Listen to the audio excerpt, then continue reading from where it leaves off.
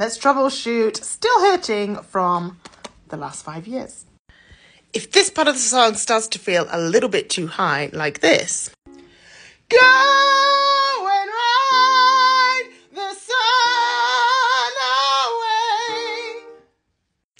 You're probably pushing a little too hard, and your vowels are probably getting a little too wide, and you're, therefore you're bringing up too much weight, and it's not going to work. Try this instead. Let's thin it out a little bit by going a little bit whinier and keeping the vowels closer to an uh shape throughout all of those words. Go. Go.